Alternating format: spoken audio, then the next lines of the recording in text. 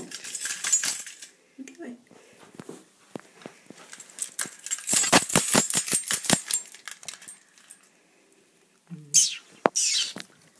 I don't think he wants us. Come on.